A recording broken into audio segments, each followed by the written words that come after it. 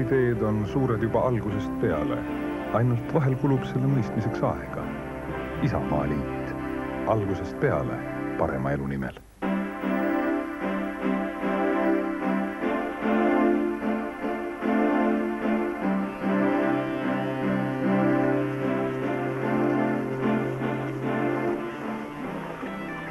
miks see siin on? Isa-Mari. Lubavad paremat elu. ah, kõik lubavad. ah, mis siin nüüd? Lähme sisse vaatame. no hea küll. Lähme sisse. Lähme.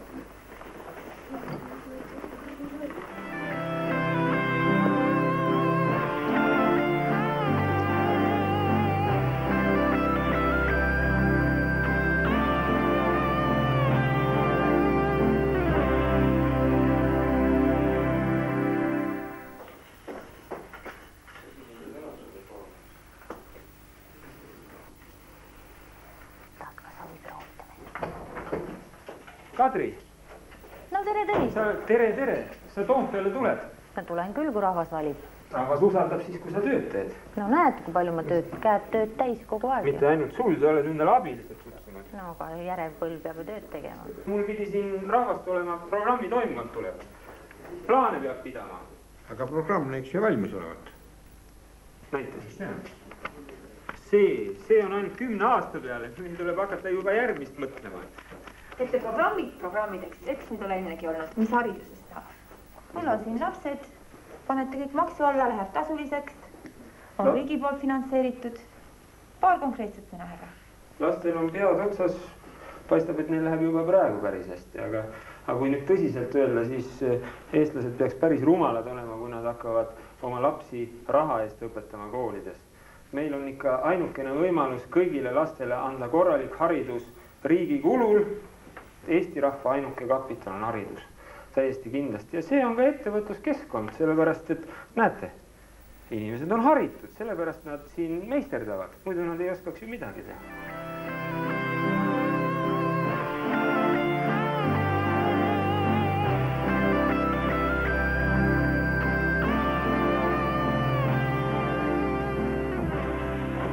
tere. tere. tere. Ai, Tõnis, sa oled ka siin. no jäin siia valijatele seisukohti seletama. mina tahan ka valima minna. sina saad valima minna siis, kui sa saad kaheksateist aastat vanaks. ma tahaks ka Toompeale minna. no sina. enne tuleb palju tarkust koguda, no las nüüd pangamees seletab meile, kuidas paljude lastega jõukalt hakkama saada. riik võib äh, ilmselt siin palju ära teha, aga, aga õige on küll see, et koolis käimine võtab palju raha ikka. Aga ma arvan, et ega seda raha ei saa ka ülemäära tähtsaks pidada. kui sa oled visa, töökas, täidad oma lubadused ja siis sind võetakse ka seal maailmas üsna varsti omaks.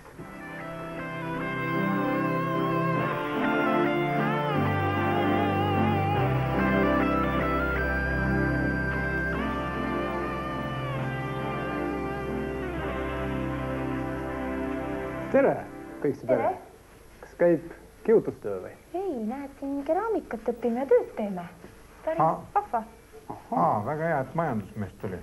kas on meil kriis või ei ole meil kriisi? no muidugi ei ole. miks sa arvad, et kriis peab kohe olema? No see, kui, see, kui hädavarased on natuke aega riiki juhtinud, ei tähenda veel, et, et nad on jõudnud selle riigi tuksi veel lõplikult keerata. aga kui see jama jätkub, siis, siis muidugi äh, võime kriisist ka rääkida juba. las nüüd üks majandusmees seletab, kuidas ülbe jõukus muutuks ausaks töökuseks ja ausaks jõukuseks. ülbe jõukus ongi selline jõukus, kus võetakse teise raha ja lihtsalt loobitakse see maha. aga ma arvan, et riik ja need mehed ja naised, kes tahavad riiki juhtida, peavad mõtlema, kuidas inimeste poolt kogutud rahaga hästi ja hoolsalt ringi käia ja mis kõige tähtsam, tuleb kõigile anda võimalused selle raha teenimiseks.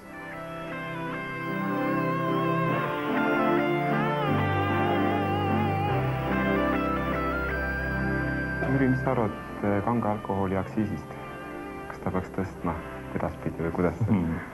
riik peab muidugi raha kusagilt saama ja mulle küll tundub niimoodi, et seda on mõistlikum korjata aktsiisimaksu nagu näiteks tulumaksu suurendamisena või, või käibemaksule osa äh, juurde pannes, aga, aga praegu on küll niimoodi, et kui aktsiisimaksu tõsta, siis tegelikult kogutud raha hulk ei suurene, mis näitab, et, et korda veel majas ei ole ja, ja niisuguse sammuga hoopis, hoopis me sulisid aitaksime. et praegu seda küll teha ei saa. jah, ma põhimõtteliselt olen samal arvamusel, et siis lähevad need mõtted kokku. ja, et võid oma veiniga rahulikult edasi kaubelda, et seal midagi vist ei juhtu. Rõõm kuulda.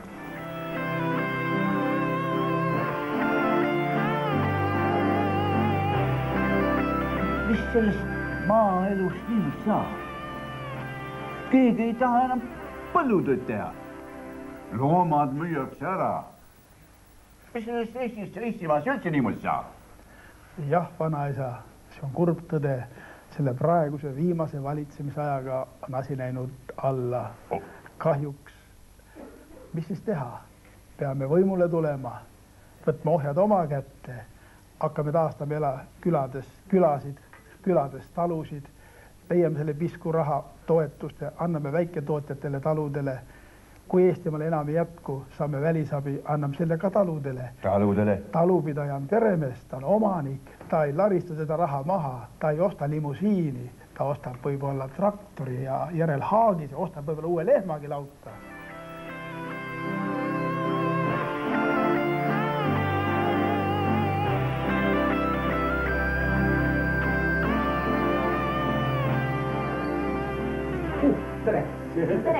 Kuule, Kadri, kas eh, ma ostsin siit Thatcherile kingituseks ühe vaasi, on sul teist samasugust veel no suue saatma on? küll vist, aga mi, mis sa talle saadad, kutsu Thatcher siia parem, me teeme workshopi talle, näe, mis siin toimub. oh jah, kuule, teil on tõesti jõle palju rahvast siin. no mis sind ootame. koosolek või?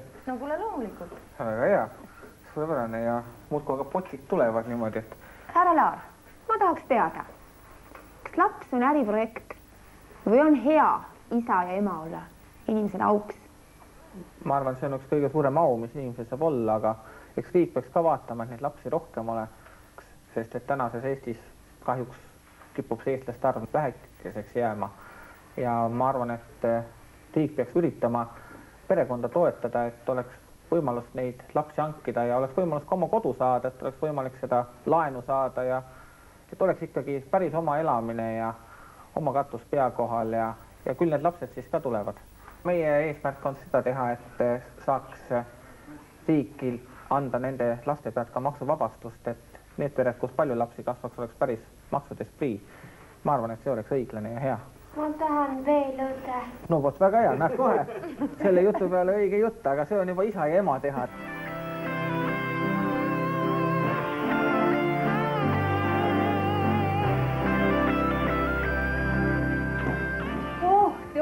Siin, jumal tänatud, ma ootasin teid väljas, kedagi ei tule, ma täiesti siiralt hakkasin kartma, et meie tänava kuritegevus jälle on keegi meist ohvriks langenud. Te olete terved? terved? oh, kuule, kuidas siis ikkagi on? saaks ometi ükskord nii, et tänaval julgeks ka õhtul vabalt käia. jaa, vaat kui ikka see politseipatrull on tänaval, kus õhtul jalutad, on sul vaatekaugusel.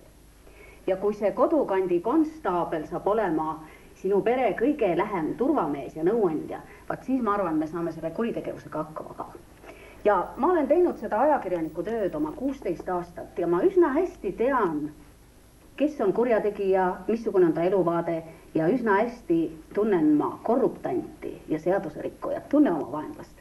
ja ma mõtlen, et kui me majanduskuritegevusele ka piiri peale saame, kui taati ka sinu pere, kes on maksumaksjad ja kui see võimul olev ametnik nende raha enam oma tasku ei pane, siis me saame korra majja.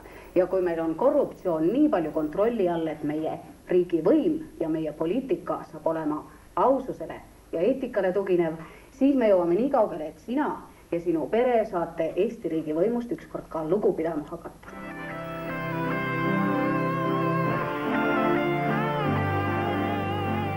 Neli aastat tagasi käisid neli meest sinu juures, tähendab, lubasid pensionärile maid ja taevaid kokku, kõik jõudsid heaks minema. kuule, kas on nüüd ka läinud, mina ei ole pensionär, ma selle pärast küsin. lubajad mehed olid kõvad, seda olid küll, aga, aga mis sest nüüd saanud on? no tere. noh, mis siin siis käsil on praegu? tere, tere. mis siin, ahaa, tere, tere. ja, ja, ja, ja, ja neli aastat tagasi ma nagu äh, mingisuguseid mehi siin reklaamisin õige palju, õige palju ja. ja mina kinnitan seda kaamerale ka. asi on selles, et kahtlemata, aga neli aastat on pikk aeg. Ja olla eh, võimule ligidal on kohutav kiusatus. Ja, ja selles mõttes, selles, see rikub inimest. Ja selles mõttes on alati hea tuua värsket jõudu riiki juhtima. see on üks väga kasulik praktika, sellepärast kogu maailmas on valimised ja ümberkorraldused. ja sellepärast on vaja värskeid mõtteid ja värsket liginemist, värsket ausust ja värsket lähtumist äh, mitte ütleme strateegiliste sponsorite huvidest, vaid Eesti riigi huvidest. ikka riigimehelikkust. on vaja riigimehelikkust, see on, see on kahtlemata tõsi, ilma selleta asjad hästi ei lähe nii et selles mõttes ma soovin jõudu.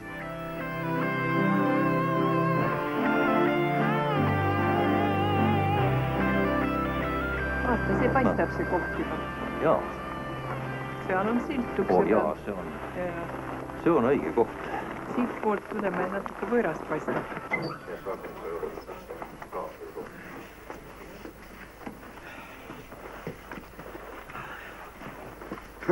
tere kelamist. Tere. Pardon. tere. tere, tere. noh, kuule, siin need Isamaa Liidu noored mehed ja naised lubavad meile paremat elu ikka ja aga kuidas rahvusvahelise värgiga on? lasevad elada ikka ka või? no eks see meist olene endast ikka. eks Euroopa ole ju meie vana kodu. nii et Euroopa on meil selleks, et hoida alles eesti keel ja eesti meel nagu ligi sada aastat tagasi ütles meie armas Gustav Suits. olgem eestlased, aga saagem ka eurooplasteks. sajand algab ja lõpeb samade sõnadega. vot nii, et Euroopasse läheme ikka oma tingimustel ja sirge seljaga, nii nagu Erki Nool läheb Euroopasse, juba on seal. võitis seitsme võistluse, võitis kümne võistluse, aga Eesti rahval on tuhande võistlus võita. ja kui me selle võidame, no siis jääme eestlasteks päris kindlasti. aga see toob selle, et iga Eesti küla ja iga vald saab ennast tunda Eesti keskusena koos Euroopaga, mitte ääremaana. aga mis sa, mis sa arvad, ei tea, kas Euroopas, kuidas on ja Pariisis, kas seal äh, tänaval musi anda võib, kas musi saab ka, ma tahaks hirmsasti, ma tahaks hirmsasti tänaval musitada. seda võib ka Eestis, näe. tubli. ega, ega seda, seda ei saa meilt keegi ära võtta. ei, seda ei, seda ei saa. mida rohkem musisi, seda parem elu. seda, seda rohkem lapsi. seda rohkem lapsi ja. härra ja proua, kui te nii kindlalt usute, et Eestil on koht teiste rahvaste seas, siis on ju päris hea, et me siia sisse tulime. oligi väga hea, et te tulite. aga nüüd lähme koos Euroopaga paremasse Eestisse, ikka Eestisse. Läheme Eestis, eestlased oleme ja eestlasteks jääme ja Eestisse jääme. täpselt nii. nii. tule vanaisa, pane sulle